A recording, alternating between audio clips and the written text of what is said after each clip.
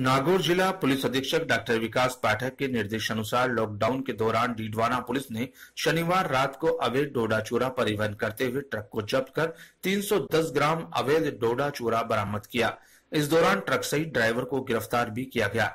Didwana police थानाधिकारी जगदीश प्रसाद मीणा ने बताया कि अतिरिक्त पुलिस अधीक्षक नीतेश आर्य व्रत अधिकारी गणेशाराम के नेतृत्व में थाना प्रभारी जगदीश मीणा द्वारा कार्रवाई की गई। मीणा ने बताया कि मुखबिर से मिली सूचना पर एक ट्रक किशनगढ़ से मेगा हाईवे पर आ रहा था, जिसमें केले भरे हुए थे। व चालक मुलाराम के पास डोडा पोस्ट है, जो कि पंजाब की तरफ़ जाएगा। इसके बाद थाना प्रभारी जगदीश मीणा हेड कांस्टेबल राजेंद्र कुमार, सिपाही महेश कुमार रिजपाल विजय कुमार, गोपाल राम, भंवरलाल की टीम गठित की गई। टीम के द्वारा मेगा हाईवे स्थित एक होटल के सामने नाकाबंदी की गई।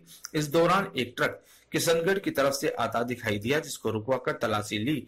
तो श्री बालाजी थाना क्षेत्र के गाँव मकोड़ी निवासी चालक मोलाराम जाट के पास से 310 ग्राम डोडा पोस्ट बरामद हुआ, जिसके बाद डोडा पोस्ट को जब्त करते हुए आरोपी को गिरफ़्तार कर लिया गया। डीडोना पुलिस ने सर आज क्या कार्रवाई की है?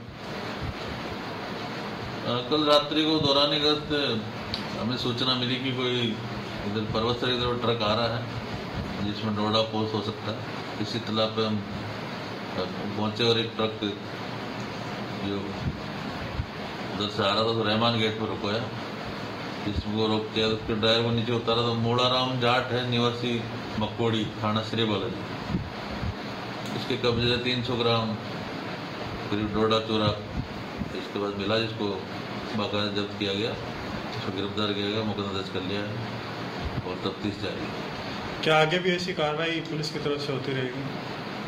हाँ इसमें आगे भी माननीय एसपी साहब महोदय का लगातार अभियान चल रहा है कि लॉकडाउन के दौरान जो भी इस तरह की अवैध गतिविधियाँ पाई जाए तो तुरंत कार्रवाई की जाए ये अभियान निरंतर जारी रहेगा।